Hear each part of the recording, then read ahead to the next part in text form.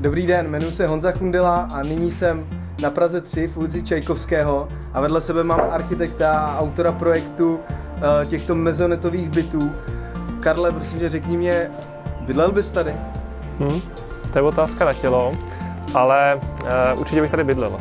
Myslím, že to je sexy lokalita, že se tady kombinuje parky, kombinuje se tady vyžití v kavárnách, restaurace, je to tady živá část města bydlu. Dobře, ale a mně nejvíc přijde sexy to, že si vezmeš kafe a vyjdeš si na terásku ráno a koukáš na celou Prahu a vidíš tady Ježíškovskou věž hnedka vedle sebe. Je tady ještě něco takového zajímavého, co bys tady vypíchnul v té lokalitě? Eh, ta lokalita kombinuje eh, ten pohled z té terasy, která tady vznikne. My říkáme 360, to znamená, že vidíš okolo 360 stupňů, což tu myslím nikde nic takového není. Tak vlastně vidíš eh, přírodu, ale vidíš i tu živou část města, to je na tom fajn. Teďka si představte, tady v téhle úrovni bude terasa, kde uvidíte skoro kompletně celou Prahu. Tady uvidíte před sebou Žižkovskou věž, tamhle dole park, když se budeme takhle otáčet, tamhle se podíváme, tamhle Vítkov, kompletně takhle park dozadu, parukářka, tamhle vzadu Bohnice, Praha 10 před váma, Želivského a nakonec tamhle kostel na Jiřího Spoděbrat.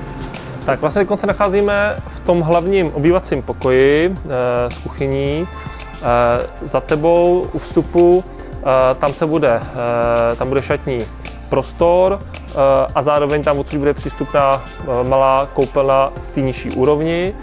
A e, po schůdkách, které budou tady vedle e, tebe, tak se vystoupí na horní e, galerii, odkud bude přístupná druhá koupelna a ložnice, která vlastně bude mít přístup na dvoupatrovou terasu, ta terasa je, jak my říkáme pracovně, 360 stupňů, takže vlastně z ní je pak výhled na celé město. Mm-hmm.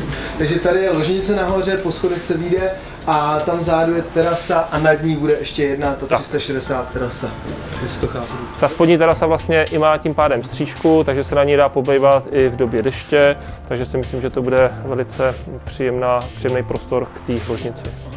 A tady ta stěna takhle nějak zůstane? Co jsem slyšel? Tak eh, správně eh, ta, eh, ten byt, ten vizuální styl toho bytu bude kombinace pohledového dřeva, pohledových cihel, které vlastně budou přebroušený, vyspárovaný, ošetřený a pohledových ocelových prvků, které vlastně budou podpírat tu galerii.